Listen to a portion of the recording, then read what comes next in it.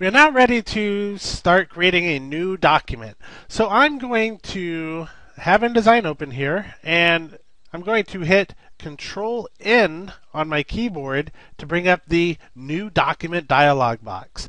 Now alternatively, I can go up to the file menu, go to new and new document, but because I like to be as quick as I can, I like to use the keyboard shortcut Control N to bring up this dialog box. So the very first thing that I'm presented with is the document preset, which is the default preset. Now, the second thing that I want to do within the document window or new document window is tell InDesign what my intention is or how I intend to use this particular document. Now we'll see here under the default preset that it defaults to print. And this means that I'm typically going to work within a CMYK color space for things such as brochure, postcard, flyer, that sort of thing. But new in InDesign CS5, I have the ability to work on documents for the web, and I can specify this as my intent. And when I do so, I'm telling InDesign to set this document's preferences to work in an RGB color space, right? Because when we're designing for the web, whether it's a web page or a SWF file or anything alike, it is always RGB. But for this, I'm going to select print or go ahead and leave it at print. And underneath that, I have the option to select the number of pages that I'm going to have in my document. So if I'm creating an offering memorandum and I have some idea of how many pages are going to be in that document, then I can click in that window and select a number like 18 for an example and type it in there. But for this training, I'm only going to have one. And if I was going to use numbering in my pages, I could select the page that I want to start on, and InDesign will open up to that specific page. For this, I'm going to start at page 1. We also have two checkboxes off to the side here, facing pages and master text frame. Now, the facing pages is great if you're going to work in an, in, an InDesign document that is perhaps like a magazine, where you have multiple pages that are facing each other. But when we're working on simple collateral such as a brochure or postcard, we might just unselect that and leave it unselected. The master text frame is something that you would typically find in QuarkXPress, and because Adobe likes to convert QuarkXPress users over to InDesign, they've placed this very similar button to what you might be used to in QuarkXPress, but we'll hardly ever use that, so we're not going to dive into it. We're just going to leave that unchecked as well.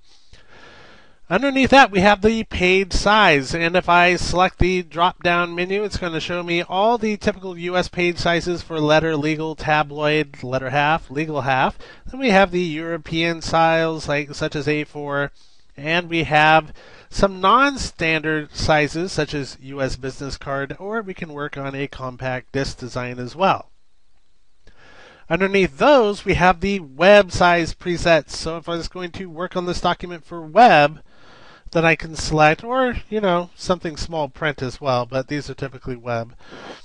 600 by 300 all the way to 1280 by 800. And if I wanted to make it larger for some reason, although 1280 by 800 on the web is pretty huge, then I can go to custom page size, give it a name. I can change the width and the height, specify the orientation, click add, then click OK, but I'm not going to do that right now. I'm going to show you another way to save this preset. So once we've selected the page size by default, we can also manipulate it here by going up or down, but we are creating a custom page at that point. And we also have boxes here for the orientation, landscape, or portrait. And we have columns that we can modify so we can specify the number of columns or specify the gutter for the columns and margins. We can also specify the bleed and slug. Now the bleed and slugs by default is usually hidden. But if I come up to the more options dialog box, then it's going to show it here. If you're not familiar with columns and guides and margins and bleed guides, don't worry about that right now. We're going to focus on that in a later movie. So just know that if you, when you're creating a new document, this is where you can set them. And I'm going to hit fewer options to hide those bleed settings, and, and then I can always bring them up again later if I need to. So let's say this is the custom preset for, or this is the preset that we normally use for a brochure. What if it took me 30 or more seconds to create these presets. Well, I may not want to always spend 30 seconds creating my own presets here or specifying what those are going to be. So I want to save this so I can use it again. So I'm going to click the Save Presets dialog button. And here it's going to default to document preset number one. We can just type over that. So I'm going to type Stevens brochure one and click OK. So now that preset is always in there. I can select it on the fly, and I'm going to click OK.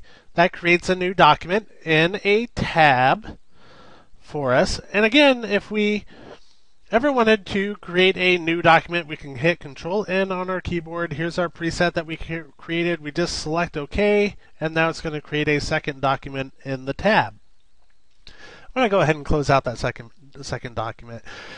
Now, what if you created a document and then you realize after you've created it that something isn't right? You need to make some changes. Like you don't like the orientation of this page as portrait, you want to change it to landscape. If I go up to the File menu and select Document Setup, we'll see that the intent is grayed out. So I can't necessarily change this from print to web because I know I'm working in print, but I can change the number of, cha- of pages, change the start page, and here I can change the size and I can change the orientation. So if I change the orientation in this page, we then switch to landscape.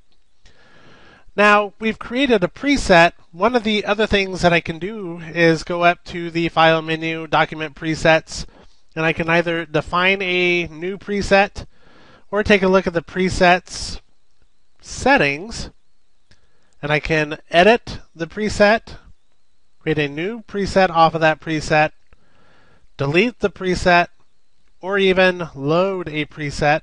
So if I downloaded from like the InDesign user group, I can put it in here as well. But I'm going to go ahead and click cancel.